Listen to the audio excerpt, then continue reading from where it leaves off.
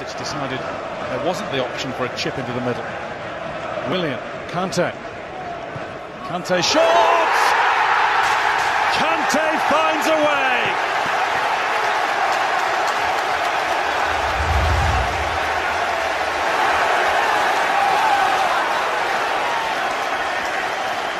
Two Chelsea goals for N'Golo Kante this season, both at the bridge against Manchester United.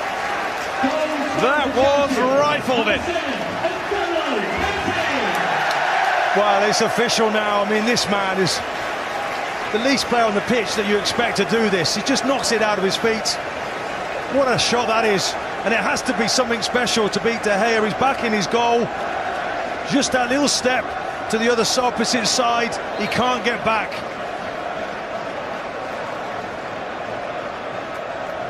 Great finish from him there.